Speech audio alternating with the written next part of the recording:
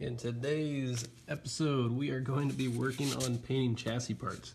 So I have my stabilizer bar off of my Blazer. I'm going to work on painting all the other parts as I take them off uh, and fix all the dry rot, as you can see. But what I'll do is show you the proper way to prep this, you know, all these underbody parts or whatever other chassis parts you want to paint, um, and how to paint them. This one needs a lot of love. When painting chassis parts, you want to, I always start with a wire wheel brush on a drill, and what that'll do is take off all of the heavy deposits on here, because if you start using sandpaper, it'll just clog it up.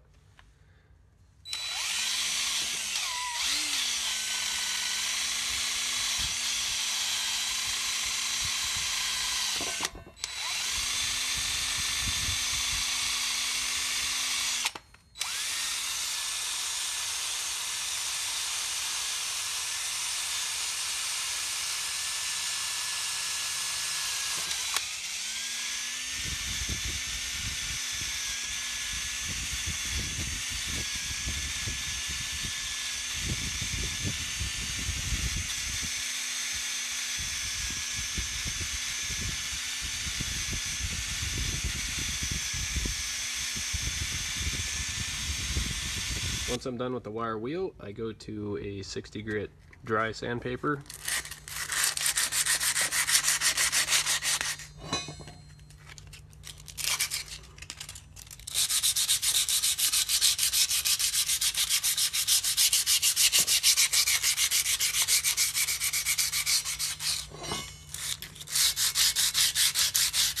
And I'm just working to knock off most of the really gritty high points just so I can maximize how much uh, actual raw steel is showing.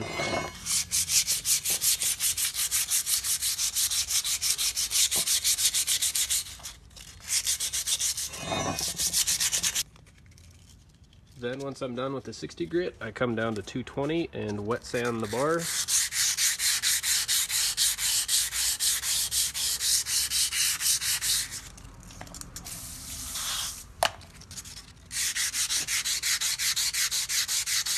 Just taking off all of the remaining high points that I can find before I paint it.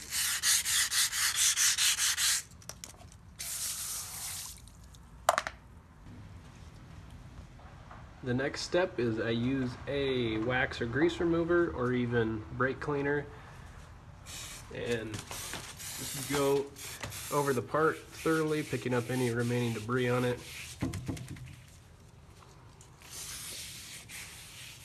Getting it ready for paint. This is the paint that I use. It's obviously for roll bar and chassis. Um, I have had great luck with this. It's awesome stuff. You don't have to use primer. And with this, just like any other rattle can, shake it up. And you just put a light first coat on, so just a tack coat.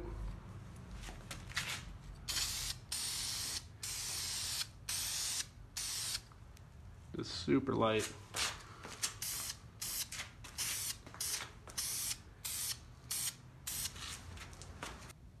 And then with this stuff, I found about five minutes later, you want to do a second coat. And I've only needed a second coat. This stuff covers really well. It's really durable.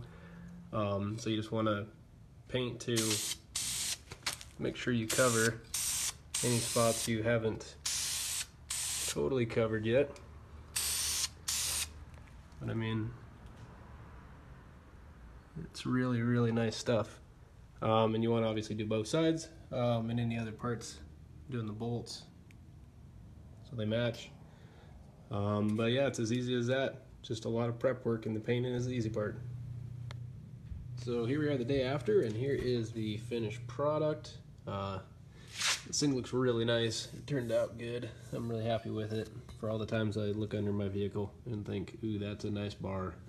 but peace of mind, at least I know it's done up right uh, and sealed right. So uh, I'll get this thing put back together and get it put back on my truck.